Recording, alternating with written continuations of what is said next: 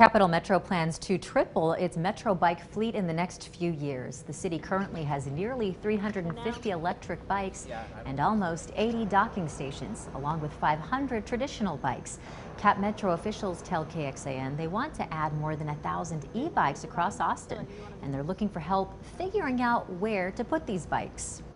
We want to make sure we have some equity considerations. So mm-hmm. for folks who don't typically have access to transit, we want to look at safety. We want to look at the bike network connectivity. We want to look at also how it connects to the bus and train network. No way. Now, Cap Metro is working on fixing charging issues with those e-bikes we told you about just last month. We look at how they plan to do this with this story over at KXAN.com.